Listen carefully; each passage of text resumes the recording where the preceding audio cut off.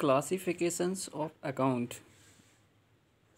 Commerce में तीन तरह के अकाउंट होते हैं पर्सनल अकाउंट रियल अकाउंट और nominal account personal account related to business transactions ये पर्सनल अकाउंट है related to business transactions business में क्या आ रहा है, क्या जा रहा है, ये सब कितना कैश आ रहा है, कितना आने वाला तो इसका जो रूल्स होता है पर्सनल अकाउंट का मेन होते हैं हर एक अकाउंट के golden golden rules personal account second है रियल अकाउंट और थर्ड है नॉमिनल अकाउंट पर्सनल अकाउंट का जो रूल्स होता है मेन हमें रूल्स पे ही देखना है कि किस अकाउंट में क्या रूल्स होता है।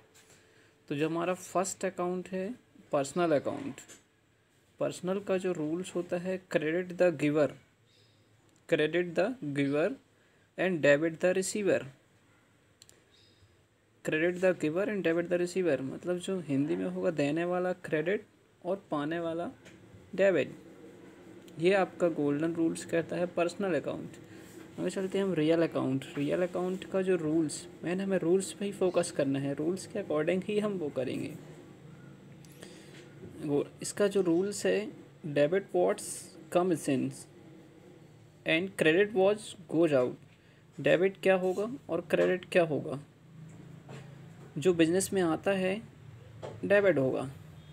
और जो बिज़नेस से जाता है, क्रेडिट होगा। तो ये जो रूल्स है, किसका है? Real account. रियल अकाउंट को हम हिंदी में बोलते हैं वास्तविक खाता। थर्ड है आपका नॉमिनल्स। तो नॉमिनल अकाउंट कोई, नॉमिनल अकाउंट जो है वो कोई अकाउंट नहीं है, बल्कि इसके नेचर के अकॉर्डिंग ये डिफ़ाइन किया जाता है। इसका जो होता है all income and gains credit सभी इनकम और profit all income and gains credit सभी इनकम और प्रॉफिट क्रेडिट होंगे।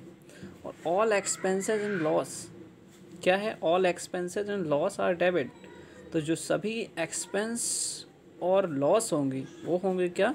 डेबिट तो इसका जो है, सभी इनकम और प्रॉफिट क्रेडिट होंगे, सभी खर्चे और हानि डेबिट होते हैं। तो ये हुआ गोल्डन रूल्स ऑफ़ अकाउंट, यानी पर्सनल, रियल और नॉमिनल अकाउंट के रूल्स। अब इसी रूल्स के अकॉर्डिंग हमें क्या करना है, जो एंट्री करेंगे, जनरल एंट्री करेंगे, ये सारा इसी में यूज़ होगा।